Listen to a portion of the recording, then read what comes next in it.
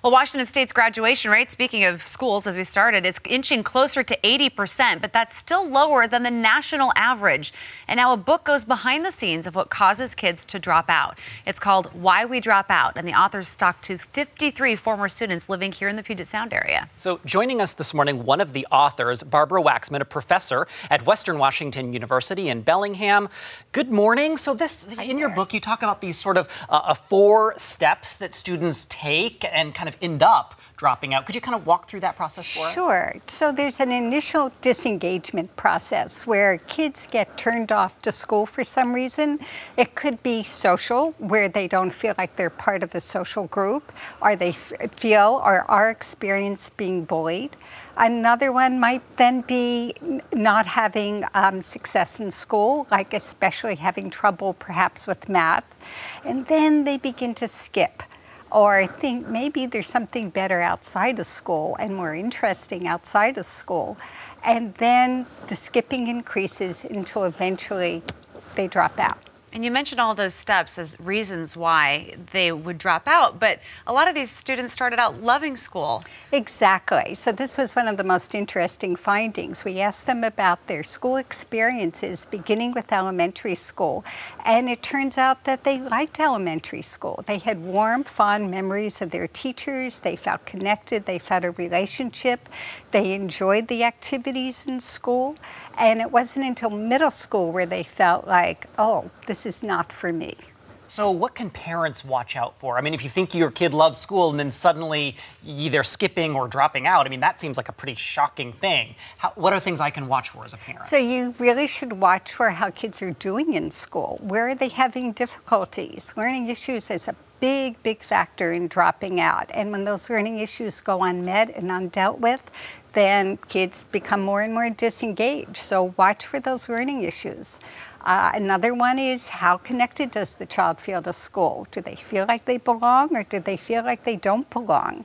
And then, of course, watch for things like drinking and drugs and, and alienation.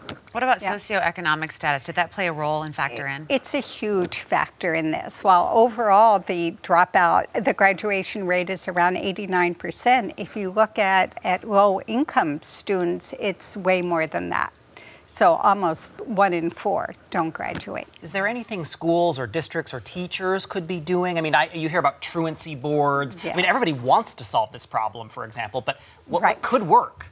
So I think you really need to track kids really well. You need to really think about transitions, especially to middle school, where suddenly you're just changing classes all day long.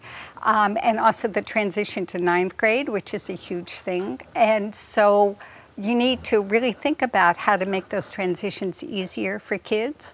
And then you need to think about tracking those learning issues so that if there are problems with learning, they're dealt with. And that teachers know about it in the next grade. And then need to make, um, really work on the culture of the school and make sure kids feel a sense of belonging and that they're valued and that there's some adult in the school that really cares about you. What for you was the most surprising finding? So I think thinking about their elementary school experiences was one, that mm -hmm. they mm-hmm. really did like school. It wasn't until secondary school that they became so disengaged and disenchanted. And the other was how regretful they were about dropping out. We asked all the, all the youth, what would you say to your younger self as they were thinking about dropping out? And they went, don't do it.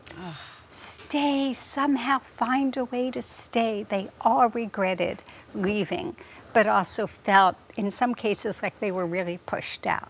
So if parents, teachers, schools, friends could figure out a way to help them from the beginning, it sounds like that could be the answer. Uh, that's one partial yeah. answer. And then also really inquiring, you know, you asked about parents watching or teachers watching kids for signs. Also when kids misbehave, when they act out, there's always a reason. So don't just suspend or expel them find out what's going on. It really is a sign and a message that needs to be taken seriously. Barbara Waxman, thank you so much. Sure. Really interesting insight. We've been talking about this book. It's again called Why We Drop Out. We posted a link to buy it on our website. Just head to q13fox.com and click on links you saw on TV.